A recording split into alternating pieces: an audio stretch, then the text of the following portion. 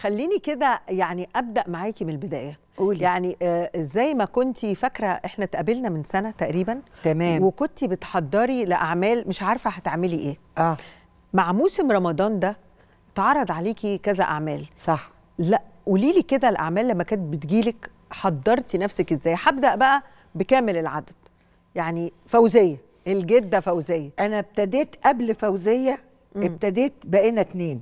بقينا اتنين ده اتعمل الأول أيوه اتعمل الأول آه يعني صحيح. كتصوير إحنا صورنا ده ورانيا يوسف آه. رانيا يوسف وأنا كنت مامة رانيا والشخصيه برضو جميلة صحيح. ست آه بتحب جوز بنتها قوي أيوة. لدرجة إن بنتها بتغير صح. فلا أنت بتحبيه أكتر مني. الوقت ضد بنتك آه أنا بحبه مم. مش عشان أنا بجامل كأم عشان بنتي لا أنا بحبه بجد. مم. فدي الشخصية الأولانية والمسلسل ده ده الورق الأولاني. الأولاني طيب اللي إحنا جاي. هنرجع لكل عمل لوحده. آه. بعدين اتعرض عليكي كامل العدد. بعدين اتعرض عليا كامل العدد والعتاولة. آه مع بعض. آه. مم. فأنا بقيت أفكر طب هعمل إيه؟ وكلمت الجماعة بتوع العتاولة.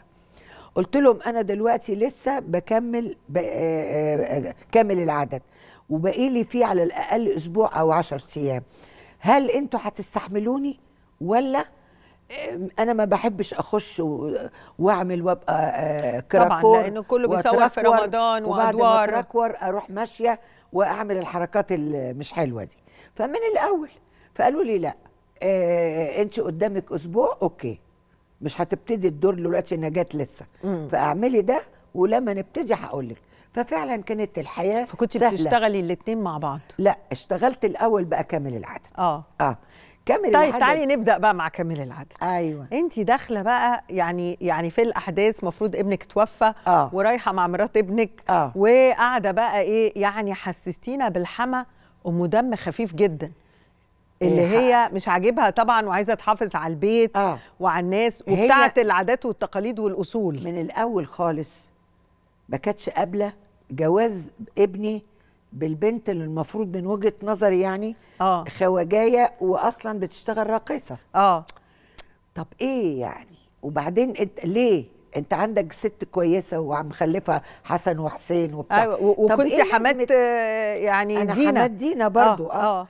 فإيه لازمة إنك أنت تتجوز دي؟ فأنا مش كره فيها بس مش حابة.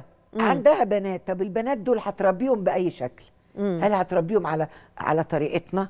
هيطلعوا زينا ولا هيطلعوا يرقصوا من هم قد كده ولا هيرقصوا يتكلموا؟ أما باجي أقول لها على دواء حتى تكلم والدتها في التليفون آه. هنعمل كذا كذا. أقول لها طب ما تسأليني ما أنا واقفة.